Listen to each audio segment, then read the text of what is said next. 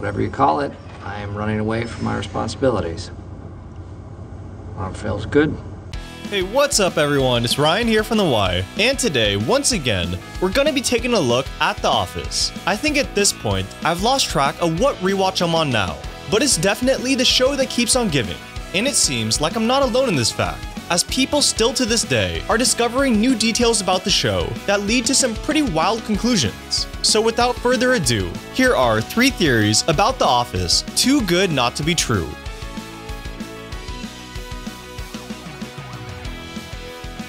In the aftermath of Michael Scott moving to Colorado, D'Angelo Vickers assumes the role of acting manager, much to the chagrin of Dwight.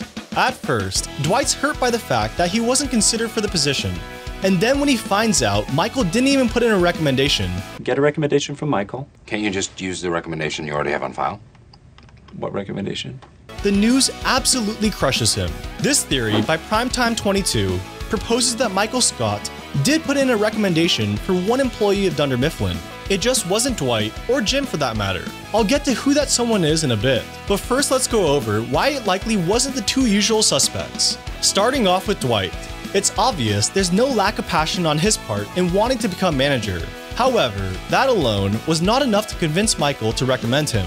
In Michael's eyes, Dwight was probably the best salesman at Dunder Mifflin's Scranton, and the branch would have been much worse off if they lost one of their top performers to a management role. But more importantly, Michael knew the personality of Dwight like the back of his hand and had a gut feeling it just wasn't conducive to being manager at that time. Dwight was stubborn, controlling, and in many ways craved power and authority.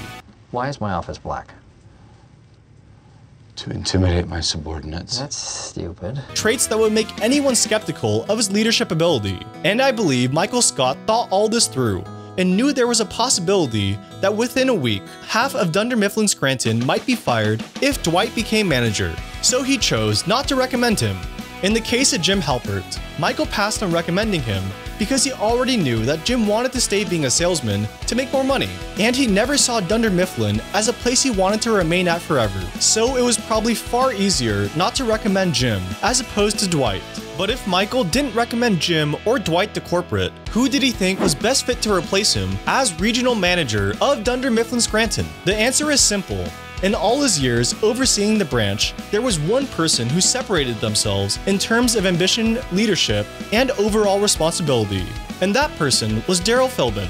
Next to Michael Scott himself, Daryl has the most leadership experience as he was the foreman of the warehouse for a long period of time. He's also a reasonable dude who everybody seems to get along with, and it's hard to imagine people having any problem if he were to assume the role. Not only that, but Daryl has already proven his usefulness to people higher up the ladder, namely Jo Bennett, when he proposes his idea for a new shipping plan. Maybe you should be doing your sketching upstairs. Do you like an office up here? Are you serious? In terms of the relationship between Michael and Daryl, Daryl didn't always act in his best interest. Did you already um, forward it to a whole bunch of people? Uh huh. But when it really came down to it, he did things for Michael that only a true friend would. Sometimes when I'm down like this, it helps to sing the blues. And finally, the most bulletproof argument for why Michael recommended Daryl be the new manager of Dunder Mifflin Scranton is because he possibly hates Toby for screwing up his workers' comp claim. Assuming all this happened exactly as I explained, why was Daryl not promoted to regional manager after a sterling letter of rec from Michael? I think the answer to this question comes in the season 8 episode Lotto, where Andy says this. And here's the thing you weren't even next in line. You have a history of being short with people, and you hired Glenn, your buddy, to replace you in the warehouse. He was underqualified. There's also the fact that back in season 2, Daryl led an attempt to unionize, and even though it was a while ago, corporate never really forgets something like that. Finally, Michael Scott's parting gifts to his employees provides all the evidence you'd ever need that he considered Daryl to be his protege. All of Michael's gifts, in some way, resemble what he feels each person needs. An example being, for Andy, he gifts his 10 largest clients, hoping it will make him a better salesman. To Phyllis, he gives a chattering teeth gag, telling her to voice her opinion more. For Dwight, he gives a letter of recommendation to make up for the one he failed to give corporate earlier. And to Daryl, he gives his unfinished copy of Somehow I Manage, a guide to managing. Oh, there's anybody here who can finish it, it's you. That's sweet, Mike.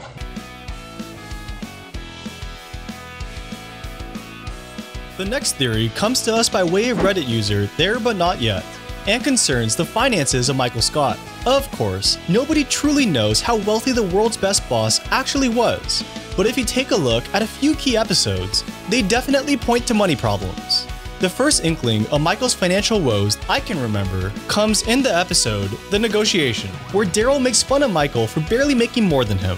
Oh, sorry, Mike. Some more folks got to hear about this one. Ah. Okay. Then, in the aptly named episode 7 and 8 of season 4, Money, Michael Scott's dwindling finances are put on full display. It's shown that he's taken on a second job as a telemarketer to try and combat his heavy debt. He then declares bankruptcy I declare bankruptcy! And finally, Michael and Oscar review his frivolous spending habits. multiple magic sets, professional bass fishing equipment. How did you do this so fast? Is this By now, it should be clear to everyone that Michael Scott was not well off, and you have to consider he might have been living paycheck to paycheck, which is why this next development is so perplexing. By the time season 7 comes around, Michael Scott's financial situation seems to have completely turned on its head. Instead of being worried about money, for the Christmas party, he offers to pay for everything himself. I want you to go and get a real tree. Take some money. Thank you. something that would have been impossible a few years ago. But the biggest signs of his newfound financial success revolve around Holly. Sure, if you were to tell me he was able to easily pay for an extravagant office party as he'd been better with his money for the past two years, it's not out of the question. But him being able to purchase a diamond ring that costs this much is a bit unbelievable. They say three years salary. And you also have to remember that Michael was giving up his job at Dunder Mifflin and moving to Colorado with Holly so she could care for her aging parents, all with no mention of a new job. So, how could Michael Scott actually pull all this off? We know he can be stupid at times, but when it really comes down to it, he wouldn't set himself and his new wife up for failure with a couple of terrible financial decisions. The answer to all of these questions is actually hidden in season 6, episode 15, where David Wallace attempts to sell Michael Scott on the idea of Suck It. As you know, Scott declines, and this is his reaction. There are very few things that would make me not want to team up with David Wallace. And Suck It is one of them. So obviously, it looks as if Michael Scott had no interest whatsoever. But on second glance, this may not be the full truth. Based on what we know about Michael Scott, he's a good friend and a loyal man, almost to a fault. And although he acts like a petulant child at times, he would do anything to help out his close friends. Evidence of his kind hearted nature is on full display in the episode Business School, where Michael is one of the only people to show up to Pam's art show and actually take an interest in her work. Additionally, when Ryan started up his website, WUPHF.com, Michael signed on as the main investor in the project, just based on blind faith in his friend. Circling back to David Wallace and Suckit, it's true that when Michael first heard about his new business idea, he was less than enthused. I think a big reason for this was that the whole thing was out of character for Wallace. I mean, you're talking about the former CFO who's now making a kid's toy called Suckit. It honestly sounds a lot like something Michael Scott would come up with, as opposed to David Wallace. So even though his initial reaction was that of confusion, the more he thought about it, and after remembering back to all the times that Wallace was a true friend, I think Michael Scott reached out to him at a later date and invested in his company solely because he believed in David Wallace. And as you know, eventually David Wallace sells the patent for Suckit to the military for 20 million, leaving Michael Scott to walk away with a couple million himself. It would explain how he's able to purchase a diamond ring for somewhere in the neighborhood of $200,000, all the while not even batting an eye. And to top it all off, allows for him to quit his job at a moment's notice to move across the country with the woman he loves.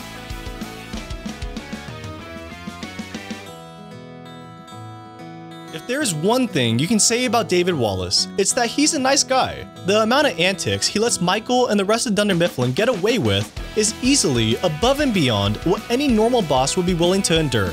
You texted me. 911. Call me. Yes. All in caps. And this theory by Kentucky Wisdom says that because of his nice guy persona, he finds it extremely difficult to be the bearer of bad news. A surprising notion, especially considering the fact that he's the CFO of Dunder Mifflin, which is why he purposely uses Michael Scott to do the ugly parts of his job for him. In the final episode of season 3, Michael, Jim, and Karen are interviewing for the position at corporate. At the conclusion of Michael's interview, he lets David know that he and Jan are back together, and this is David's response. I don't understand. So we're gonna tag team it?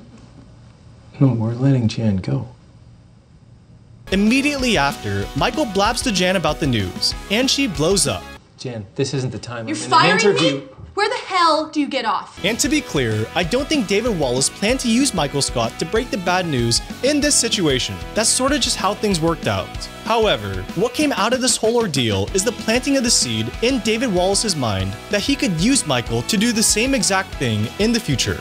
Cause let's be real, Michael Scott is the perfect fall guy. He can't keep a secret to save his life. Everyone here knows that I can't and won't keep a secret.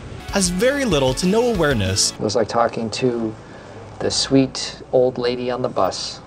and because of that, doesn't feel embarrassment like how a normal human would.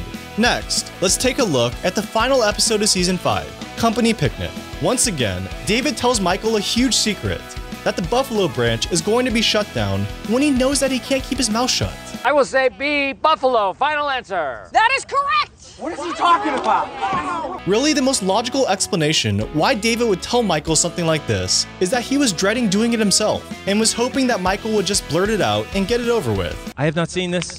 I think David's thought process in doing all this is that it's easier to defend his position after the information's already leaked than to be the person who breaks the news in the first place. And you can see that even after the information's already out there, David still has a hard time confirming that is true. There have been talks about closing the Buffalo branch. And? We're we're closing the Buffalo branch. It also doesn't make sense that Michael would still have a job if David Wallace was actually upset that he had leaked crucial company information. Then, in the season 6 episode, Shareholder Meeting, did you ever wonder why David thought it was a good idea to bring Michael Scott as his honored guest to the panel? He already knows how embarrassing and out of line Michael Scott can be, so there must be some ulterior motive for inviting him. In my mind, it looks like a last ditch effort to save Dunder Mifflin by trying to force the other board members to see that the company is on its last legs. And this explains why David would say this. It was fun when we weren't on the brink of bankruptcy. We're going bankrupt, you think? Two episodes after the shareholder meeting, Michael calls David and gets more than he bargained for. Listen, I shouldn't tell you this, but the company has a buyer. The board will have no choice but to approve, and they are going to clean house. At this point, it's silly to think that he can keep his mouth shut about anything. But what's less clear is David's purpose in telling Michael this last piece of news. The most likely answer is that David's in such a habit of telling Michael the bad news to make him the fall guy. Listen, I shouldn't tell you this. Damn it, Michael. I told you that in confidence. David, I did not tell her. He does it again without thinking. This is the final time that he gives Michael the scoop, as his second call reveals it is in actuality David who is going to be fired. You would think that this would be the last time that Michael Scott was used as the bearer of bad news, but you would be wrong. In the final episode of season 6, things are still a mess at Dunder Mifflin, but under much different circumstances. Jo Bennett had now taken over the company, and their main product, as I'm sure you remember, had become printers instead of paper. In Whistleblower, it's found that some of the Sabre printers have a defect, causing them to catch on fire, and that someone at Dunder Mifflin Scranton leaked that information to the press. Jo Bennett goes on a sort of witch hunt to find the culprit, and eventually, Pam, Kelly, and Daryl confess to Michael that they may have been guilty of the press leak. All right, Michael, you need to convince Jo to go easy on us. So, to save their jobs and appease his boss, Jo Bennett, Michael Scott agrees to be the fall guy one last time. Well, you know, I would be willing, under the right circumstances, to do that for you. And makes a public apology in place of her. We regret our slow response and our lapse in candor and judgment. Thank you all for watching. I hope you enjoyed it. If you did, don't forget to leave me a like and subscribe for more content like this. Alright, till next time, have a great day.